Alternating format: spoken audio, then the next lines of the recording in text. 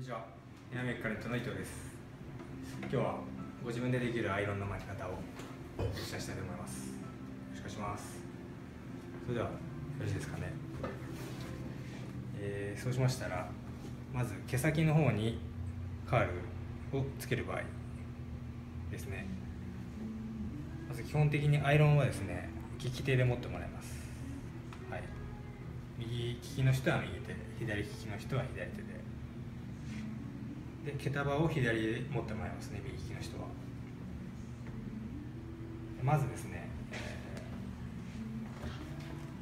後ろから半分に分けて2分割しますね。で片側を3分割で巻いていくんですけどもまず耳上で1パネル。耳上から三つ襟のちょっと手前ぐらいで2パネル。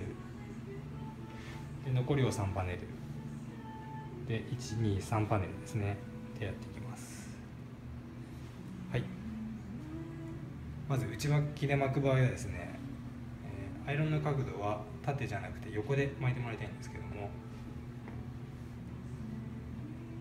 この挟むところがですね外側を向くような感じでそうですね。はい巻いてもらいます。そしたらモデルさんよろしいですかね。左手で毛束を持ってもらいまして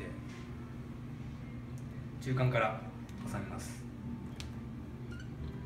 で毛先までずらしてもらって毛先まで来たら巻き込みますね。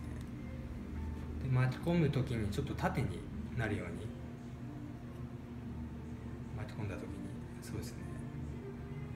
で3秒ほどしたら抜きます。こういった形で内側にカールがつくような感じですね。じゃ同じように2パネル目ですね。そしたら左で毛束を持ってもらって中間から挟みます。アイロンの角度は平行ですね床と。毛先までずらして毛先までから巻き込みます。で巻き込んだ時に縦になるようにして3秒ほどしたら外しますはいこういう感じですね。で最後3パネル目なんですけども後ろのパネル手が届かないのでちょっと逆側を向いてもらってですね前に毛束が来るようにします。で同じように中間から挟んで毛先までずらして巻き込みにまして巻き込んだ時には縦になるようにしてもらって3秒ほどしたら抜いてもらいまそうするとこういう形で綺麗に内側になるように巻かれますね。は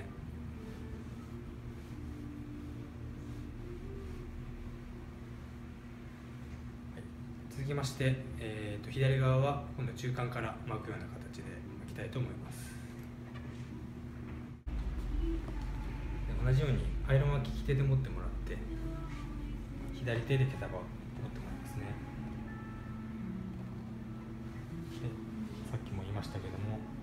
大体耳上で1パネル耳上から三つ入れの手前までで2パネル残りを3パネルですね。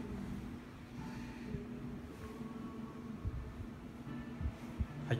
そうしましたら次はですね中間から、あの巻いていきますので横だと毛先から、巻いた感じになってしまうのでちょっと縦気味にアイロンを持ってもらいますはいで同じように前前側に巻きますので挟むところは手前の方を向くようにしてもらいましてじゃあよろしいですかね。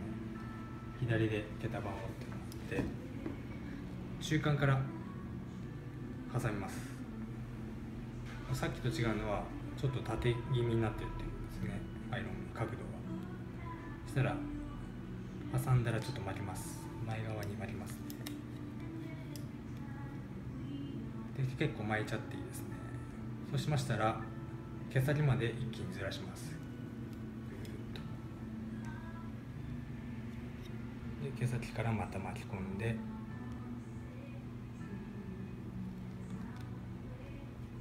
3秒ほどしたらアイロンを抜きます。こういう形でさっきと違って中間から巻いたような感じですね。出ますので。続きまして2パネル目。同じように。中間から挟んで。1回転半ぐらい大体巻きますね。はい。そうしましたら毛先まで一気にずらしてもらってはい。そこまで来たらまた巻き込みます。で3秒ほどしたら抜きます。はい。こういう感じで。で最後同じようにきっと逆側に首を向けて毛束を持ちます。で中間から挟んで1回転半ぐらい巻いて毛先までずらします。はい。そしたら毛先まで来たら巻き込み3秒ほどしたら抜きます。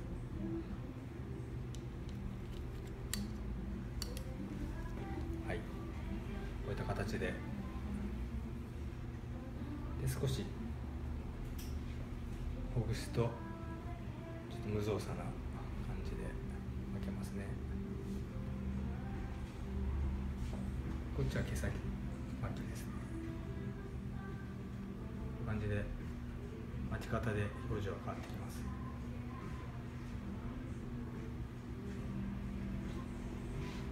はい以上でお家で簡単に巻けるアイロンのやり方ありがとうございました。